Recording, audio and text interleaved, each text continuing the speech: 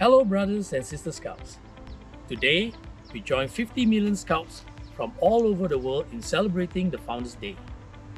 Scouting started about 113 years ago to help young people to grow into their full potential and be self fulfilled as individuals and to play a constructive role in society. The whole world is currently in battle with COVID 19.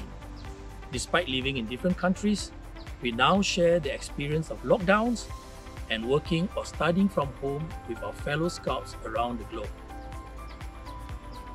We have since adjusted to the uncertainty. Despite widespread disruption during the unprecedented circuit breaker, I'm pleased to recall how you kept scouting alive through active participation in virtual meetings and activities. This speaks of your adaptability, grit, and resilience. Even though large scale physical events at the aerial or national level may not resume in the immediate future, the essence of scouting has always taken place in small groups or patrols. We have dedicated adult leaders who are trained that will carry out the programs at the unit level.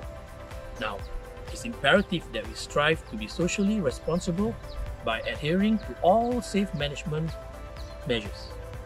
The uniqueness of scouting is in the scout method which is a system of progressive self education.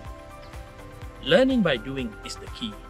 As scouts, we should apply ourselves to our own personal growth, be it in terms of sharpening practical social skills or becoming knowledgeable in any area that one has interest in.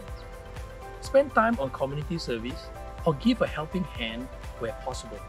Remember, it is important to keep physically active and stay in good health. Let's challenge ourselves in these respects and share a little about our pursuits with our peers via appropriate mediums. We can keep each other strong and in good spirits during these challenging times. Do your best. Happy Founders Day and happy scouting.